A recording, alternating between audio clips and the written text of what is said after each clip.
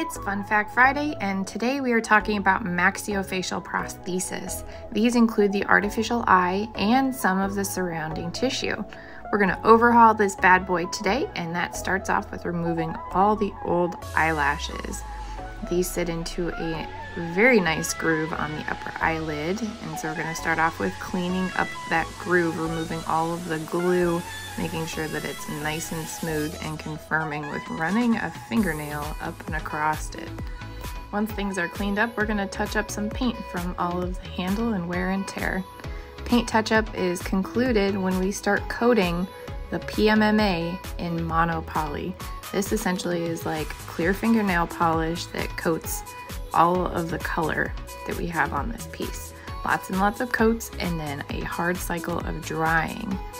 Then we want to protect all the areas that need to remain shiny, the eye and that lower lid margin. And now comes the fun part. We get to sandblast it to help remove all of that shine this is one of the pieces that makes them very realistic because the skin is such a unique, dull texture. So we're gonna remove down that shine even that much more. You can see how much of a mess this process is. And we get to pull the tape and reveal all of the shiny areas. Now that we are all retextured and painted, I'm gonna make sure that that groove for the eyelashes is nice and clean yet. Measure out our eyelashes for length and then add some glue in that groove and place very firmly our eyelashes down into that groove.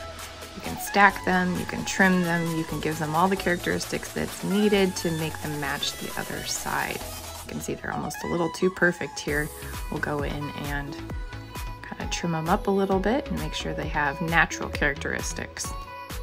Now into the final stretch of the process, we get to make those wet areas look even more wet. So we add the lacrimal lake and give it another good dry. This particular patient has a conformer within the socket with a magnet that connects to the outer piece.